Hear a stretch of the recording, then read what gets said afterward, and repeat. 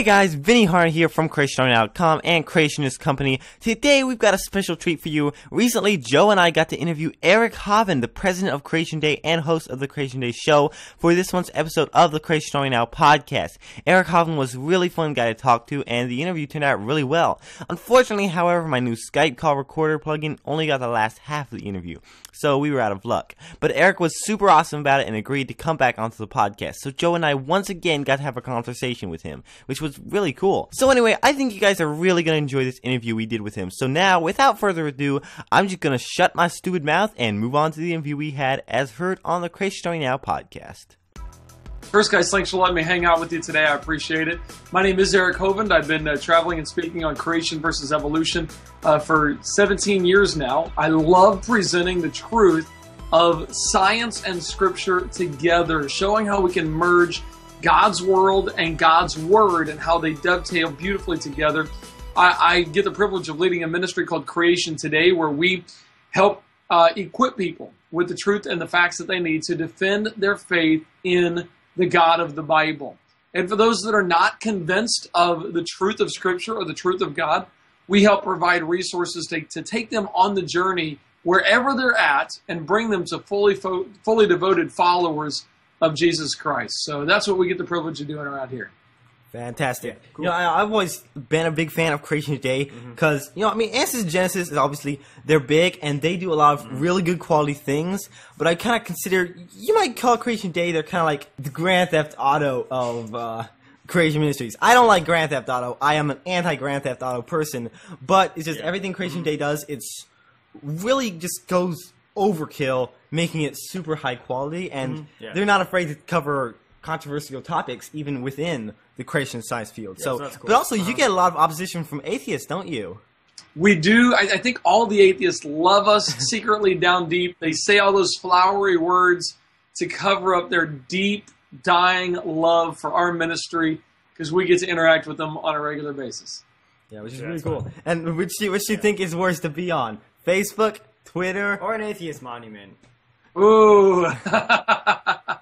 I got to tell you, I love being up on top of atheist monuments because they listen.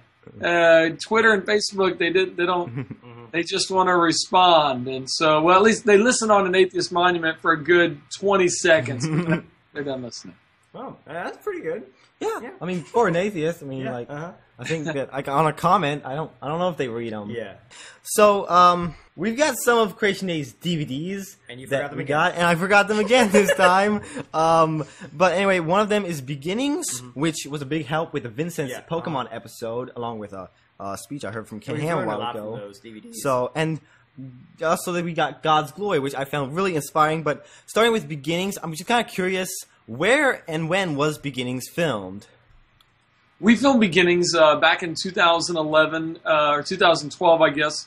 And the goal of that was to create kind of a small group introductory course for people to understand the very beginning, the very basics of creation versus evolution. So we start off going into the two different world, uh, the, the, fact that they're both religions. Creation and evolution are religious worldviews. One doesn't have all the science, and the other, uh, so it really is showing the evolutionists have a worldview, a religious system. Then we go into how old is it? Exactly how old is the earth and how can we tell what's the science behind it? And there's science that shows the earth is old and there's also science that shows the earth is young. So which ones do we need to worry about? We unpackage in that session. Then I love going into dinosaurs because it's just a huge topic that people wonder about. How do creationists account for dinosaurs? What's going on with this? So I love hitting dinosaurs. Fact versus faith is one of my favorites because I'm literally ripping pages out of a textbook showing that, look, if you don't have what's in these textbooks isn't really fact. It's a faith based statement. They're not saying something that's factually true. They're spouting off an opinion. They're sharing their faith and they're trying to sell it as science in the textbook. So, fact versus faith is a fun one for me. Uh, and then uh, we end with the truth going into who God really is and that's kind of a launch into my God's glory message of my personal testimony. So I love beginnings because it sets the foundation, sets the stage for people to understand the truth of creation versus evolution. Yeah, one thing I really, really, really like about beginnings was that the science in it was simple enough for me to understand. And that's saying a lot, you know. Yeah, but I mean, even people like me Yeah, can I get mean, even something new kids, from like it. you know, even our little siblings, they like to watch it. You know, I mean, it's it's huge age, you know, span Yeah. who are interested in it. So it's perfect. Yeah. Which I actually, anything. I actually gave the uh, uh, because we had Yeah. gotten a copy of them. Because by the way, it says in it that it's okay if you copy it, but you don't sell it. Uh, but uh, I gave that copy to uh, the you- our youth group leader, and just I'm, I'm kind of hoping that she'll show it to Yeah. some of the teens there because I cool. really.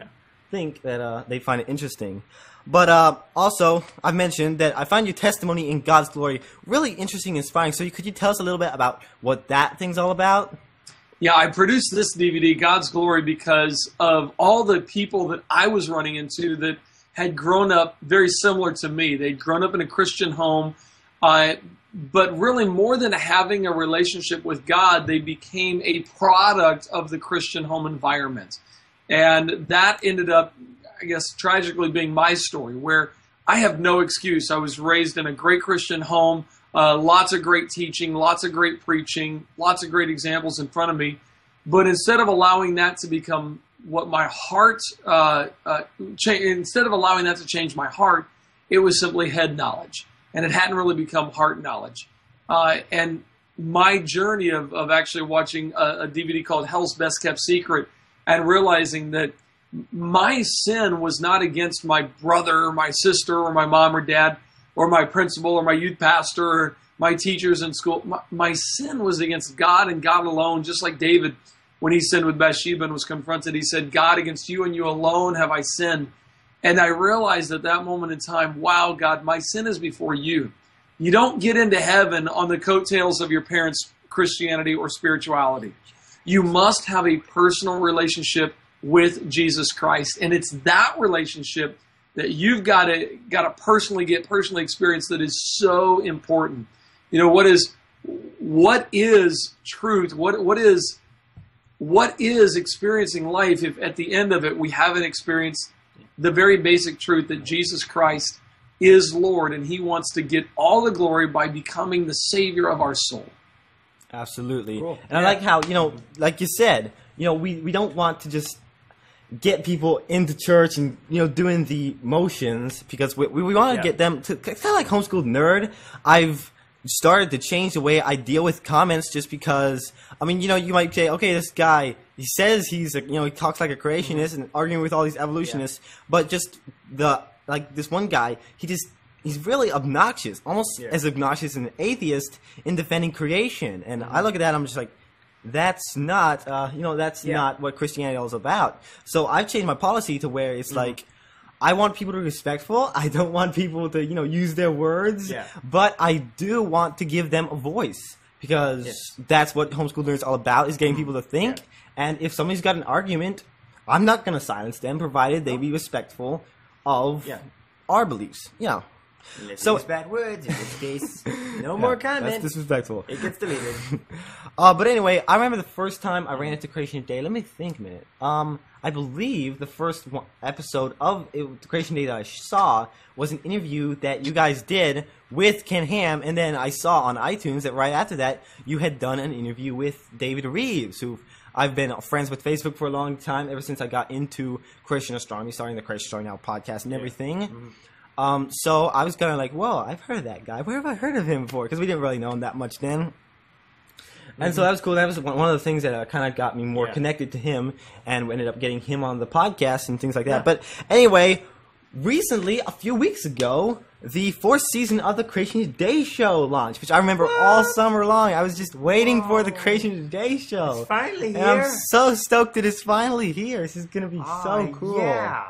Um, so this one, this season is, of course, called Battleship Apologetics. So could you tell us a little bit about what the show is all about? Yeah, I love the Creation Today show. It gives us a medium to translate this information on, on creation, evolution, apologetics, defending the truth of Christianity. It gives us a medium to put that out on the airways on on uh, on show on, on television channels that are even not even here in the United States. I mean, we broadcast all over the world, so it's an exciting opportunity. And this season we did Battleship Apologetics using the acronym of SHIP, S H I P, which stands for Science, History, Individual Experience, and Philosophy. So Battleship Apologetics is about bringing uh, and apologetic, but looking through science, looking through history, looking at our individual experiences, and looking at philosophy to really answer these questions that skeptics have about the Bible or about God or about our faith in Him. So uh, I've got an incredible co host. Marian Pike does a fantastic job of helping us understand uh, these truths. So she and I together uh, co-hosted this last season, or th- this season, uh, season four of the Creation Today show, and I, I, couldn't be more excited about the content that we're covering this uh, this this next week. The episode um, has got a great science experiment in it. I'm doing science experiments with my friend Ben Shetler from Ask or Think Ministries. So it just provides uh, a lot of information, but I think in an entertaining and educational way to keep people's attention. So that's what I love about Yeah. the Creation Today show. Yeah, cool. I, I, I'm, I'm just, yeah, I'm excited about it, but I'm just a little teeny bit disappointed that the new co-host is a girl. Just- Joey. Oh. That's but, but, but, but don't go to twitter.com slash Marianne underscore Pike and tell her that I said that. She, she'd probably be annoyed. Shouldn't do it. is it just because it's a girl? Is that why? Uh, I don't know. I, I'm relationship problems. for a long time. That's I'm just kidding about Okay. I, I personally, I that's it. I'm personally, just- I personally think she actually did a really good job, though. Yeah, and she's actually she from the uh, what was that Creation Explorers DVD series? Yep. In that, yeah. So uh, right. I, maybe I need to check that out sometime. Yeah. I haven't gotten a chance to. I, I've heard about it for a while, but you know, when you hear about those new things and Yeah, it takes you. It takes a while before you. you, you got to you got you got to hear about them on the Creation Today show before you Yeah. you think that Oh. they're uh, maybe I should check that out. Uh, but yeah, and also the Uh, science experiments are one yeah. of my personal favorite things yeah. Mhm. about the Creation Today show because it's just just really cool hands-on experiments, Mm-hmm. Yeah. and we've even done the one with fire, and we're going to be doing that along with some others that were on the Creation Today show. When we go to South Dakota, doing a VBS for some of the Native American kids in the reservations that are there. Um, you'll love. You'll love. The I, I discovered doing that What? one where you held the fire in your hand that you want to keep the hand away from your face when the bubbles are lit. Yes, you do. You do. want- That's why I think. Didn't we say don't try this at home? I think don't try this one at home. we're, we're we're parkour athletes. We break the rules. You guys do break the rules. Yeah, those are fun, and they're a great way to engage Yeah. Mhm. uh, engage people to show them both science and make a scriptural application. So Ben uh, is really good at that, and I love it. We're actually putting all the science experiments we've done onto a DVD just to make those available because a lot of people really do like those. So not Yeah. sure the title yet. We're working on that, but something about merging science and scripture, an unforgettable experience. So uh, I see it in the background. You've got your uh, Genesis 3D movie tra- uh, poster up there. and Yeah. and we want Like- one. well, We want I one. that it was like You that. guys, you guys need a poster for the background right there for you guys. Yeah, what, what do we got? We got a drum set. We got a. You can see a piano over there. I don't know if anybody can see It, that. it needs a poster. It needs Yeah. a poster. I've got I've got a few posters in my office where I do the uh, the the Mm-hmm. homeschool nerd videos. But I've got like a Mario poster and a Jesse LaFleur poster. But I, I, my wall's kind of full right now. I'm not sure I've got room for that big. of You need a Uh, take Genesis. down the Mario poster and stick up the Genesis 3D. Because Joe's got a Zelda poster Yeah, I behind his. I- I desk. a but you got you got room for a Genesis 3D movie Yeah. project. But ever since I heard about the Genesis 3D movie project, ever since I saw some of the footage from Yeah. it, I was just my mind was blown. It's like yeah, we just looked at it. We're like, yeah, this, this right here, this is gonna be good. Yeah, because I just, as you guys should know, if you've been listening to my stuff for a while, I am a big fan of 3D graphics and everything because I've kind of been into it a little bit, being a Blender artist myself. Um, so could you tell us a little bit about how the Genesis 3D movie project came about? Yeah, it's a really neat story. I was down in Orlando speaking, and a guy came up after a Sunday night service and said, Hey, I love your material. This stuff is awesome. You got to meet a friend of mine. He's a Christian and he does animation. And I went, Christian animation. It's going to be terrible. No thanks. I'm not interested. I don't want to see his stuff. He said, No, I'm telling you, he does great work. You got to meet with him. I said, Listen, I leave town tomorrow morning. Monday morning, I got to head out to drive back to Pensacola, but I got time for breakfast. If you guys want to meet me, I'll meet you on Monday morning for breakfast. So we got together on Monday morning for breakfast, and it was just a God thing. God saying, "Let's start something with this guy." His name is Ralph Strain, and I remember pitching an idea to him. I said, "Well, I don't know if you could do this, but I've always had an idea of doing a little." Like a little one minute uh, segment where I'm teaching something about creation for just a minute, but the visual effects around me are really doing the teaching for me. He said, Yes, that's what I'm talking about. I love it. I said, I, I was going to call it Creation Minute, and I've already got the URL creationminute.com. He said, Let's do that. I was like, What am I getting into? So I said, All right, we contracted to do five of these Creation Minutes. I went back down a couple months later. I was speaking in Orlando again at another church. And I go down, and after speaking at the church, I go to this guy's uh, studio where we're going to film, and we go to a green screen area that he had actually built in his aunt's garage. So we go to his aunt's garage, uh, actually shed. It's like an off the house, and I'm going, okay, are you for real? Can you produce anything? I'm still worried about Christian and animation. I think go together, okay? We film, we make up the creation minutes on the spot. We we film them, and I'm going, how is this going to do anything? I, I can't imagine what this guy's going to do. He sends me about a, about a month later. He goes, "Hey, here's the first draft," and he sent me Creation Minute number one. And if you've ever seen Creation Minute number one, you'll go, "That is amazing!" And right away, I went, "Okay, this is Christian and animation that goes together really well." So we did over a couple of years. We did a, uh, over about a year and a half period. We did several of the creation minutes, and then um, he said, "Eric, listen, I got to tell you, nobody has jumped on this idea of taking the Bible, taking God's word, and actually producing it in in a in a computer environment, like for example, creation." The technology is at a place now where instead of just reading in the beginning, God created the heavens and the earth, you can show in the beginning God created the heavens and the earth. And my mind was still trying to wrap my brain around that concept. And uh, we ended up pitching it to our board of directors and we jumped on it. We said, yeah, this is something we'd like to partner with you on. So Creation today is partnered with Ralph and Sevenfold Films and then another ministry out in California called Resurrection Pictures and then Kingdom Work Studios down in uh, West Palm Beach, Florida. Anyway, God has brought together a great team to produce a film that is going to be spectacular because you're going to get to experience the creation of the world in 3D and you're going to hear from leading scientific experts showing, telling you uh, the truth of the Christian and the creation worldview against, opposed to, juxtaposed with what the evolution worldview that is indoctrinating. Get this over 50 million students in school right now while we film this are getting indoctrinated with the evolutionary worldview. So we want to correct a lot of that wrong information going out, and the Genesis movie is going to do it in a big way. Th- Think about this. There are over 400,000 churches in America today, and there are 6,000 first run movie theaters. Where is the impact happening in our culture? Well, the impact, if anybody looks at it, would go, well, the theaters are what are making the impact. They're the ones driving the thinking. It's not the it's not the books, it's the movies that are making the difference. And Yes. so we want to go right there to where the movies, uh, to, to where the difference is being made, and and put our our lamp on a candlestick, so to speak, on the candlestick of of theaters and get it out there. So that's the purpose of the Genesis 3D movie. And anybody who goes to genesismovie.com and looks at some of the footage, I think you'll be blown away with it. Yeah. Yeah. Well, that, that thing, uh, you know, the fact that it's a movie and not a book, you know, nobody hardly reads books anymore these Yeah, days, you know, really. but everybody watches movies, so, you know, it, it's perfect, you know?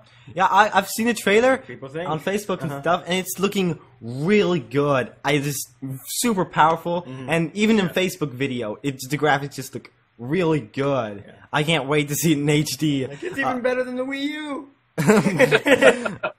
So, so how close is the film to completion? When when's it going to be out?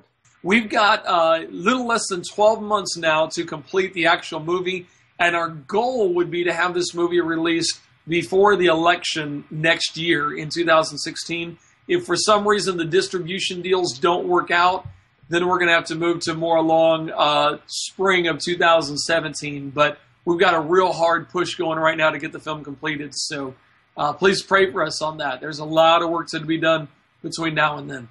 So, how long is the film going to be in, in when it's completed? You know, it's uh, our goal was to hit 90 minutes. We've got so much content that we're sitting at about uh, about 110 minutes right now. So we might even have to take out some of this oh, really good stuff and just Yeah. save that for like a small group curriculum or something like that because it's just gold. Uh, but so it, it'll be a it'll be a feature length uh, feature length movie. And it's amazing though this this rendering that we're doing to get the computers to render these scenes because they're such high quality.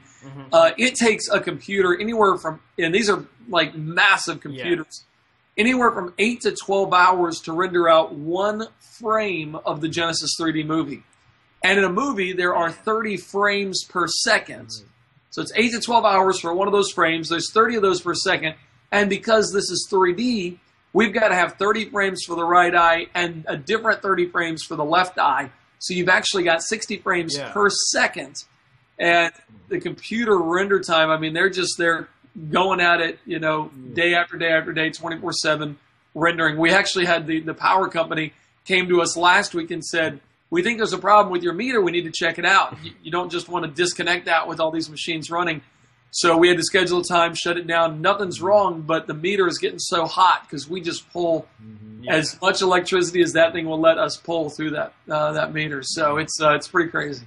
Anyone who doesn't know how hard 3D animation is just needs to try rendering something, and they'll Yeah. see. Because I mean, you, like in Blender, I, I have a scene done, which my scenes are not near as good as a 3D movie, the Genesis 3D movie. They are, uh, you know, They're, they're pretty okay though. they're mediocre at best. Yeah. but uh, you know, like out of one scene, which is of course the new Blender Cycles render engine takes quite a bit of time to get Yeah. done. And you know, if I, I'll be like rendering a scene, I remember sometimes I would start something rendering, and then I'm like, you know, I think I need to change this. And so it'd be like, you know, take overnight for a one scene to get done sometimes. Yeah And I just keep changing things. Like, I think I should move that Of over. course, you had a really, really slow computer. Yeah. So that didn't So- help. yeah, but I, I don't know. well, get this: these computers, these computers take that amount of time, and we've got over a terabyte of RAM. A terabyte of uh, my computer I'm on right now has, I think, eight or sixteen gigs of RAM. These things have over a terabyte of RAM, and it just it, it's amazing what it takes to do it. But we're blessed to be able to to be working on this, and uh, I'm, I'm really excited about it. Yeah, but aside from the Genesis 3D project and the Creation Today show, you guys are also working on what's called the Creation Network. Is that it?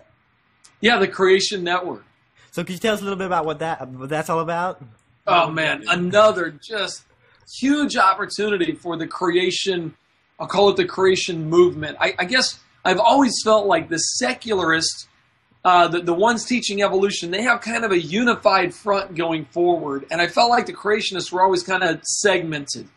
And so my desire for a long time has been to serve other creation ministries in a way that allows us to create more of a unified front. And that's really what the Creation Network is all about. It's kind of taken on a life of its own. We started by uh, by going, hey, instead of only putting the events that I'm speaking at on our website, let's ask other creation ministries if we can put their events on our website just to help them advertise it. Well, that kind of took off. Now we have over 35 different creation ministries that we're putting their events on our website. So when you go to creationevents.org, you can learn about all the different creation events happening around America, and uh, we're even getting a lot of foreign countries uh, in on this as well. So that's really exciting. So creationevents.org is part of the Creation Network. You can look at all of these at creationnetwork.org. But it also links to another really cool tool. I went to our guys one day and I said, okay, I got a problem. Anytime I got a question I want to ask about creation revolution and I want to find out how somebody else has answered it, I've got to go to like five or six different websites and do searches on each different website to get a good answer. I want one search that'll search all those websites for me. Well, they came back to me with an incredible tool. We turned it into a website where people can use it publicly instead of just me using it internally. And it's called searchcreation.org. This website searches the top 19 biblical apologetic websites in the world. So if you do a search on carbon dating or dinosaur soft tissue or whatever your question is about the Bible, you know, how do we get, what about the giants, what about any of that stuff, you're going to get a great answer because I'm only searching good biblical, uh, reliable websites for the answers. And then I went, you know, there's a lot of places around America and around the world that I've been to where they have a museum and they focus on creation, but nobody knows about them. Let's tell everybody about all those people. And so we had started uh, several years ago and then just revamped it and made it part of the Creation Network, a website called visitcreation.org. And that website, I mean, if I told you guys, there are more than 60 places around America right now that you can go to and you can find a creation based tour or museum. You go, you got to be kidding me. But you go to visit creation and there they are. They're sitting there, whole bunch of places ready to be explored, all with a creation emphasis. So I, I, we still are working on creationspeakers.org and uh, creation partners for volunteers that want to get involved in creation ministries. So that again has taken on a whole life of its own, and I'm really excited about the Creation Network. Yeah, and right. what's cool about it is that you know the sites actually look really good. You know, mm-hmm. it's not like you know you go to some creation sites and yeah, they're creation, but they look terrible. But you guys' sites look really good. Yeah. And uh, well, thanks for the compliment. If you visit Creation Network, you can actually see that they've got a video on there. And I was watching it earlier, and I was like, "Wait, who are those two nerdy dorks?" oh, I hate six months ago me. uh, uh, it was us, by the way, just in case you didn't get that. uh, but uh, it's kind of funny. We were actually listening to an interview we did with uh, our first interview we did mm-hmm. with Jake Dobrins, yeah. our buddy over at uh, Creationist Company.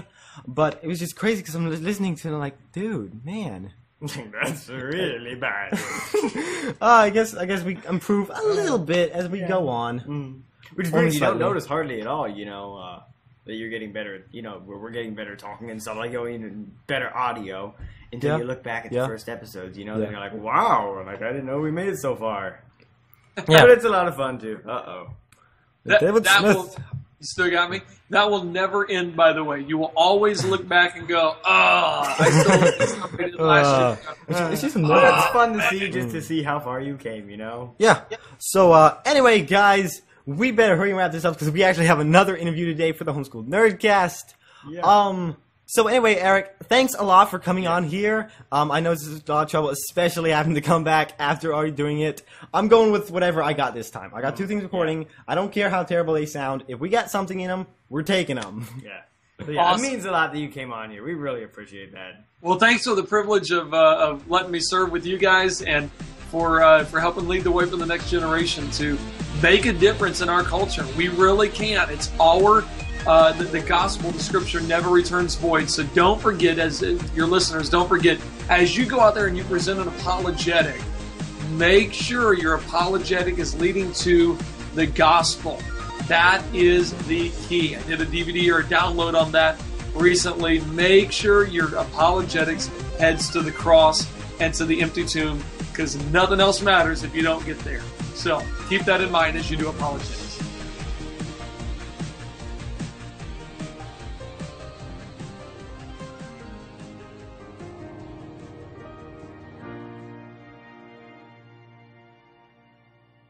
I don't know about you guys, but I really enjoyed that. Eric was really fun to talk to, and we definitely need to have him on again. But in the meantime, be sure to check out the Creation Astronomy Now podcast at www.creationastronomynow.com. We had a great episode this month, so be sure to check it out. You can also listen to the podcast on iTunes and Stitcher. If you use either of those things, be sure to leave us a five star review, as it really helps us out. I'm Vinny Hard for Creation Astronomy Now, and I will see you all next time.